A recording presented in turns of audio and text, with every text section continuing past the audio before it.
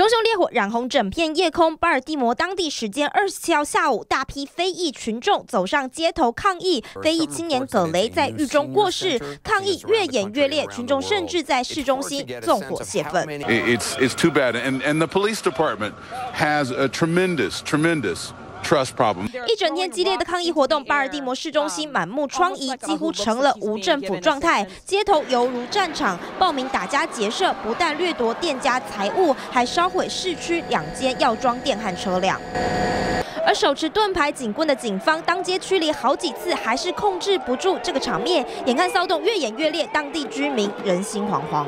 Um, so to say that it's warranted is is is to put a, a positive advocating voice on that it should happen, and I and I'm not going to do that. I can't do that because I don't believe that it's warranted.